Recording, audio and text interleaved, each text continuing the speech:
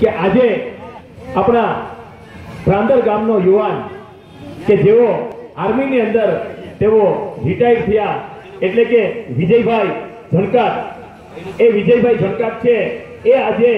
પોતાની ઓગણીસ વર્ષની સર્વિસ કરી અને માત્ર વતન આવ્યા હું માં અહીંયાથી હું ગણપતિ બાપાને પ્રાર્થના કરું છું કે હે ગણપતિ બાપા મારા ભારત દેશનો હરેક જવાન પોતાની ડ્યુટી પૂરી કરી અને માત્ર વતન એમના માતા પિતાના આશીર્વાદ એમને મળે એવી અહીંયાથી ગણપતિ બાપાને પ્રાર્થના છે કારણ કે ये फौजी है ना वो कमाल के होते हैं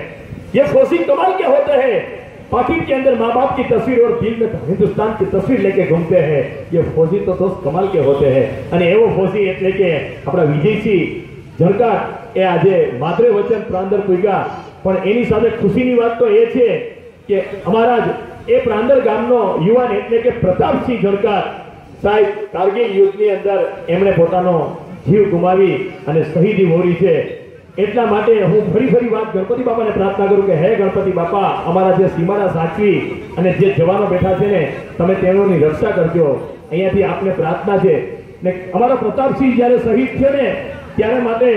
બાલુભાઈ એમને એ ગોલી લઈ ગયો છે ને ત્યારે ખરેખર મને આ શબ્દ યાદ આવે છે કે ઉસ રાત उसकी मां नहीं सोई होगी क्योंकि उसको लगने वाली गोली भी सौ सौ बार हुई होगी उसे लगने वाली गोली भी सौ सौ बार हुई होगी એવા અમારા પ્રતાપભાઈને પણ અમે તહે દિલથી અમે એને વંદન કરીએ છીએ કે જે આપણા માતૃ વતન માટે તેઓએ પોતાના પ્રાણ બેસાવર કર્યા છે